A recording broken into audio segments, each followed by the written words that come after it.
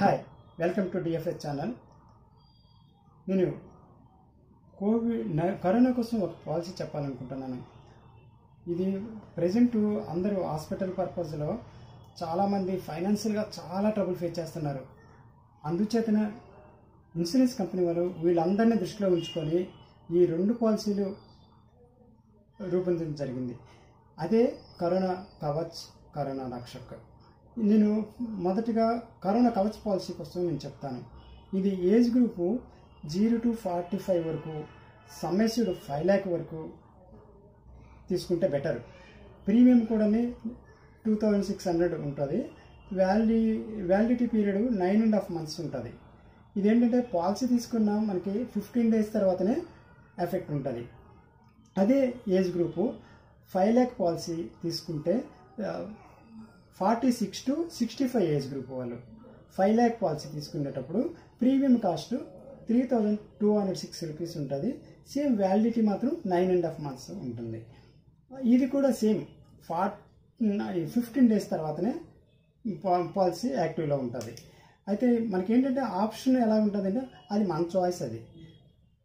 మనం three and half months పెట్టుకుంటామా six and half months పెట్టుకుంటామా నైన్ అండ్ హాఫ్ మంత్స్ పెట్టుకుంటామా మనం త్రీ అండ్ హాఫ్ మంత్స్ అయితే ప్రీమియం కాస్ట్ తగ్గుతుంది. Six month and half months same ఇంకా తగ్గు.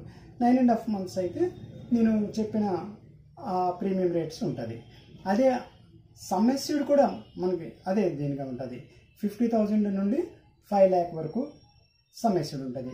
ఈ పాలసీ ఏంటంటే మనకి హోమ్ ఐసోలేషన్లో ఉన్నా సరే ఈ పాలసీ మనం క్లెయిమ్ చేసుకోవచ్చు. కాకపోతే ఏంటంటే మనకి డాక్యుమెంట్స్ కంపల్సరీ సబ్మిట్ చేయవలసి ఉంటుంది.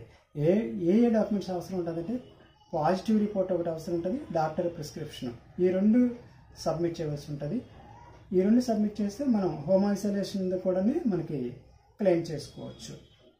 హాస్పిటల్లో అయితే మాత్రం ఈ పాలసీని తీసుకుంటారు.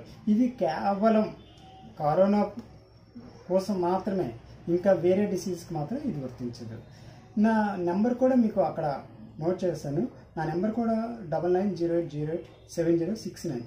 మీకు ఏదైనా ఎలాంటి డౌట్ ఉన్నా ఈ నెంబర్కి కాల్ చేసి మీ డౌట్స్ క్లియర్ చేసుకోవచ్చు.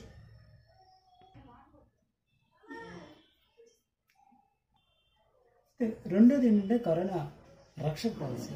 ఇదేంటంటే ఏజ్ గ్రూప్ ఎలాగంటే ఎయిటీన్ టు సిక్స్టీ ఫైవ్. మొదట అది zero to forty five forty six to sixty five. ఒకలా ఇదేంటంటే ఒకటే type. Eighteen to sixty five age. Premium ఎలా అంటే టూ ఇది fifty thousand to two and half lakh వరకే ఇది ఇది ఇదేంటంటే ఓన్లీ రీఎంబర్స్మెంట్ ఇది fifty thousand to two and half lakh. Suppose two and half lakh policy తీసేసుకుంటే ఈ ఏజ్ గ్రూప్ ఏంటంటే ఎయిటీన్ టు సిక్స్టీ ఫైవ్ మధ్యలో ఏ ఏజ్ గ్రూప్ అయినా సరే ప్రీమియం ఆరు వేల రెండు వందలు ఉంటుంది. ఇదేంటంటే మొదటి పాలసీ లాగా ఇది కూడా ఫిఫ్ పాలసీ తీసుకున్న ఫిఫ్టీన్ డేస్ తర్వాతనే ఎఫెక్ట్ ఉంటుంది. ఇది ఓన్లీ క్లెయిమ్ చేసుకో రీఎంబర్స్మెంట్ మాత్రమే ఇది ఈ పాలసీ. దీని ఈ హోమ్ ఐసోలేషన్లో ఉన్న ఏ హాస్పిటల్లో అడ్మిట్ అయినా ఇది ఓన్లీ రీఎంబర్స్మెంట్ తర్వాత ఏమంచి రిపోర్ట్స్ అయితే కంపల్సరీ. పాజిటివ్ రిపోర్ట్ ఉండాలి డాక్టర్ ప్రిస్క్రిప్షన్ కంపల్సరీ. డాక్టర్ కూడా ఏం సజెస్ట్ చేశాడు? హాస్పిటలైజేషనా లేకపోతే హోమ్ ఐసోలేషనా? విత్ రిపోర్ట్స్ ఉంటే మనం క్లెయిమ్ చేసుకోవడానికి ఎలిజిబుల్.